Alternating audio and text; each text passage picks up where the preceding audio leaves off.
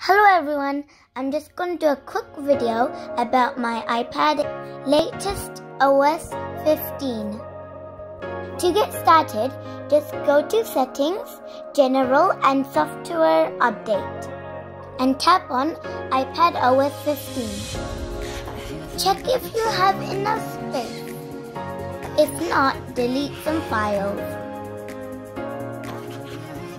Once you have cleared some space, go to settings again and click on iPad OS 15.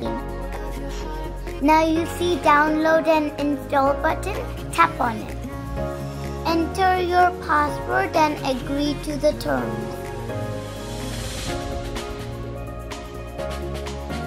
Now you will have to wait for 20 minutes and the OS will be upgraded. Now you need to allow some new permission for widgets. I like the new look after the upgrade. Now you'll see latest OS version in the settings.